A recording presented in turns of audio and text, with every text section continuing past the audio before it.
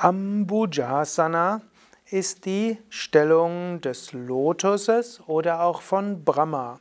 Ambuja heißt wörtlich im Wasser geboren und Ambuja ist auch eine Bezeichnung für Brahma oder auch für Vishnu.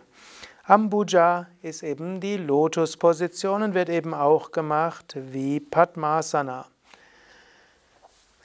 Setze einen Fuß auf den Oberschenkel oder wenn es geht in die Hüftbeuge, den anderen Fuß auf den anderen Oberschenkel, wenn es geht in die Hüftbeuge. Versuche die Fersen so nah wie möglich zum Bauch zu bringen. Gib dann die Hände entweder auf die Knie, zum Beispiel in Chin Mudra, oder falte die Hände.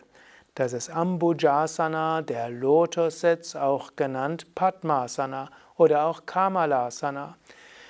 In Hatha Yoga gibt es manchmal verschiedene Namen für die gleiche Stellung und manchmal kann ein Asana auch oder ein Name stehen für verschiedene Asanas.